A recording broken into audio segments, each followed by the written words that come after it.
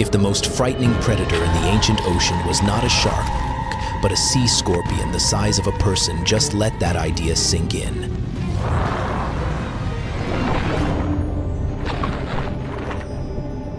Hmm, yeah. Not a sleek silhouette with rows of teeth, but a jointed armored giant with claws ready to crush. For a long stretch of deep time, Jaekelopterus ruled parts of prehistoric waters so convincingly that even today it makes scientists stop and think. How did evolution build an arthropod that could reach about eight feet long, then leave us a world where nothing remotely like it patrols our coasts? Now take a breath and step back, roughly 390 million years to the early Devonian. No whales, no dolphins, no modern coral cities. Coastlines and river mouths spill into wide estuaries and shallow seas, often brackish and cloudy with silt and plant matter. Fish are everywhere, but they are still experimenting with what it means to be a fish. Some wear armor like living shields. Some are testing new jaws that will one day reshape the ocean. The water is a dim green world where shapes appear and vanish quickly, and being noticed is often the first step toward being eaten. And in that murk, something else is already acting like the owner. Meet Jaekelopterus rhenaniae, the largest arthropod known to have ever lived. It belongs to the Eurypterids, often nicknamed sea scorpions. Not true scorpions, but aquatic relatives of modern arachnids, built from segments and jointed limbs adapted for swimming and hunting. And here is a twist that makes it even more unsettling. Many Eurypterids were not living out in the open ocean like a modern great white. Many were at home in brackish or even freshwater settings, places where rivers meet the sea, where visibility is poor and ambush works beautifully.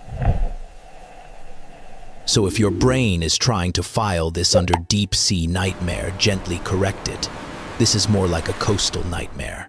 A single fossil claw from early Devonian rocks in Germany about 46 centimeters long let researchers estimate an animal around two and a half meters in body length.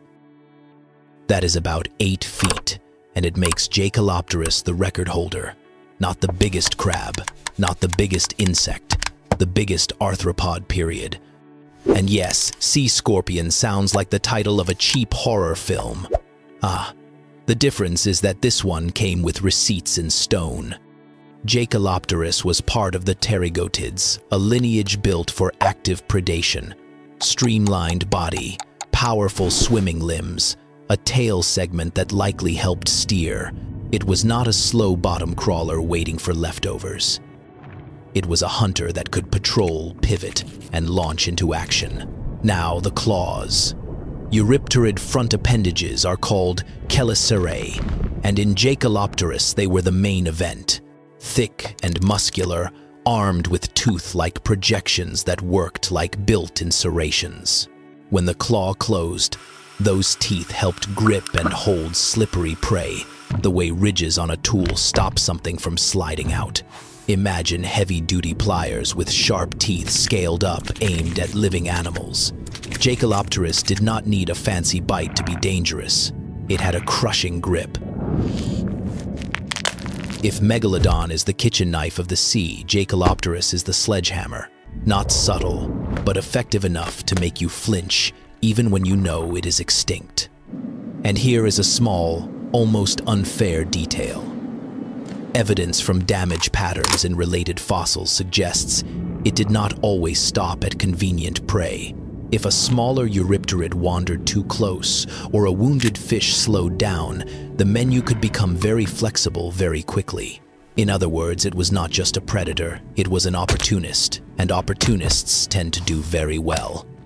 So how did it hunt? In murky water, ambush is king.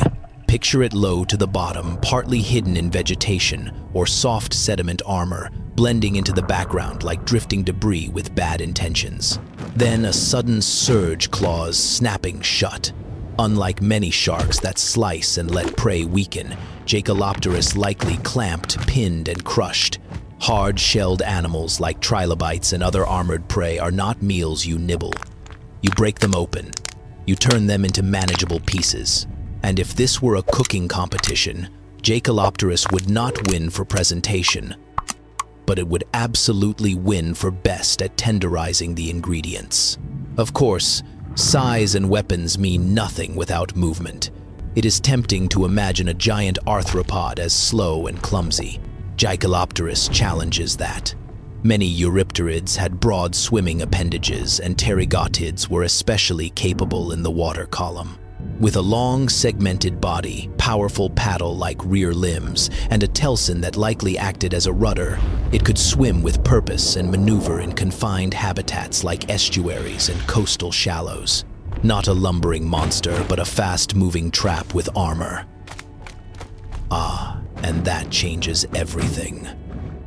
It means Jaekelopterus could do more than wait. It could choose positions. It could track movement it could close distance. It could turn a cloudy shoreline into its personal hunting ground. Now widen the scene. The Devonian is often called the Age of Fishes, and it deserves the name. Jawed vertebrates were diversifying into new roles, including predators with stronger bites and better senses. Some fish were armored bruisers. Others were quick and agile. That creates an arms race. Prey evolves defenses. Predators evolve counters. Jaekelopterus fits neatly into that story, a top-tier arthropod hunter, thriving while vertebrate predators are still rising. In a weird way, it is like arriving at a party early and discovering the most intimidating guest is not the famous celebrity everyone expects, but the quiet one in the corner who has already claimed the best spot and is not planning to move. Then comes the question that makes researchers pause. How did an arthropod get this large? On land, many arthropods are limited by breathing systems that do not scale well. But eurypterids were aquatic and likely used gills or gill-like structures changing the constraints. The Devonian environment was also shifting, with oxygen levels rising toward near modern values. Oxygen alone is not a magic wand, but combined with buoyancy in water, productive coastal habitats, and strong selection pressure from competitors and prey, it may have helped set the stage for gigantism. There is also something quietly elegant in the design. Segments allow specialization. Limbs become paddles, claws, or walking legs. Armor thickens where it matters. Sensory systems sharpen. Eurypterids had compound eyes built on design principles, still seen in living relatives like horseshoe crabs, hinting these were alert hunters, not blind brutes. So when you picture Jaekelopterus, do not picture a clumsy antique. Picture an animal tuned by selection, efficient in its environment, dangerous in a way that feels both ancient and strangely modern. And now the throne begins to wobble. Jaekelopterus lived early in the Devonian, but Eurypterids did not rule forever. As the Devonian progressed, ecosystems shifted, and the late Devonian brought major extinction events that reshaped marine life. Eurypterids survived beyond that time, but their dominance declined as jawed fishes and other vertebrates expanded into more predatory roles. Over longer time, the ocean simply favored different kinds of giants and the old kings faded into fossils. Yet the legacy remains. A predator like Jaekelopterus reshapes an ecosystem by existing. Prey hides more. It changes routes. It evolves armor, speed, or new behaviors. Even scavengers adjust because a large hunter changes when and where food appears. In that sense, Jaekelopterus was not just a monster. It was an architect of Devonian waters, forcing other creatures to evolve or vanish. So here is the takeaway as we surface back into the modern sea. We default to sharks when we imagine prehistoric terror because sharks are the surviving celebrities. But deep time is full of rulers that do not match our expectations. Jaekelopterus was not a dinosaur, not a reptile, not a mammal. It was an arthropod, armored and powerful, with a crushing grip and the ability to swim like it owned the place. Ah, if it were alive today, it would not just dominate a documentary, it would rewrite how we think about what an apex predator can be. And if you are wondering what you would do if you met it in those Devonian shallows, you already know the honest answer. You would run. Or, if you are extremely brave and not at all responsible, you would consider reaching out to pet a claw that was designed to turn hard shells into lunch. Either way, the ancient sea scorpion has done its job. It has reminded us that the history of life is not a neat parade of familiar monsters. Sometimes the real rulers are the ones you did not even know to fear.